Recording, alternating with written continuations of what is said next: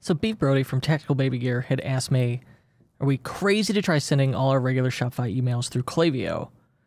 And can those even be turned off? And the answer is you could do that. If you're on Shopify Plus, you can request that they not send and you take care of it on your own. But it's adding a lot of complexity. And the chances are the reason you'd want to do this is to get more customization over it. And it turns out, for the longest time, Klaviyo can generate copy and paste templates. And so if we go in uh, this Klaviyo doc, how to personalize and export Shopify notification emails, customize Shopify's default email templates using Klaviyo to achieve brand consistency. Ah, so if you use Klaviyo, you could generate copy and paste notification templates that work in Shopify, and then they match and are consistent with your newsletters and your Shopify flows or your Klaviyo flows. Okay, sweet. And it says we go email templates in Klaviyo, create template, uh, and then Shopify notification templates. So, okay, I've got Klaviyo open. Let's try this. We're going to go first under search templates. I'm going to search Shopify. You can see I've already got these in here. So I could copy and paste these, but it looks like these are from 2017. So let's try create template. They say I got to use the classic editor. Okay. Have it selected, create. And they're right, right up here, Shopify notification templates. Boom. Look at that. They all pop up here. Okay. So let's try styling one and then copying and pasting it. We're going to call it uh, Shopify order confirm 2022. Create template. And then, all right, it gives us a, a good starting point. This looks great. Uh, we're going to ditch these social buttons. Not my favorite. And we just got to add an image up here. I bet they have one.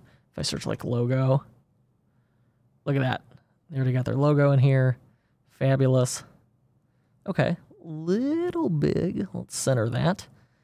And let's get the URL. Put that in there.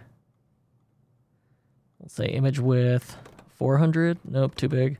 200, better. 150 looks great.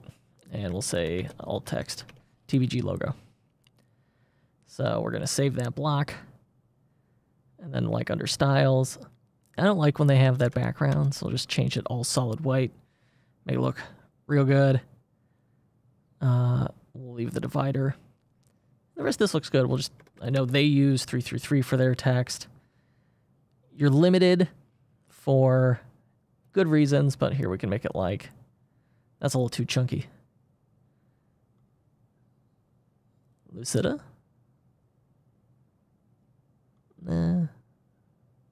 Now is it not updating these fonts on me? New York, no. MS Serif, no. Ooh, Palatino, no, no. Tahoma feels right. Verdana. I don't know. You don't get a ton of options here. Century Gothic.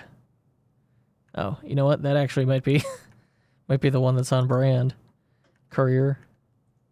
All right, well, you get the idea. So, just going to set this back to we'll go with Verdana. Links, text we got that right. Fine. Okay, great. Heading one. I think this is where we'll go a little funkier.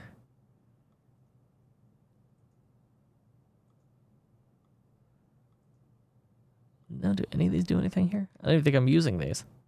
All right, whatever. So we got our settings in here. Great, save. And so the advantage here is that you can use Shopify or Klaviyo's template editor to do to drag and drop sections in here. So it could be like, all right, uh, yeah, be like, oh, continue shopping. That might be cool. But we're gonna ditch that. We just want our regular regular thing here. So if I go save and return to templates, here it is, order confirm 2022, and export. It's gonna give me the HTML. So I'm just going to right click, copy that. In Shopify, you go settings, notifications. That's where we're at now settings, notifications. And normally for customizing, you're limited to set your logo, pick your color. And honestly, I think this looks fine, but um, you're limited to that layout. And so if we wanted to, we paste our layout in there from Klaviyo and hit preview. And then look at that. There. That's the new one generated by Klaviyo. And like send test email, I could send it myself to test it out. So pretty straightforward. It's a identical process for all of those templates that they support. And the advantage there is you could get everything to look really consistent for all of your email communications. So have fun playing with that.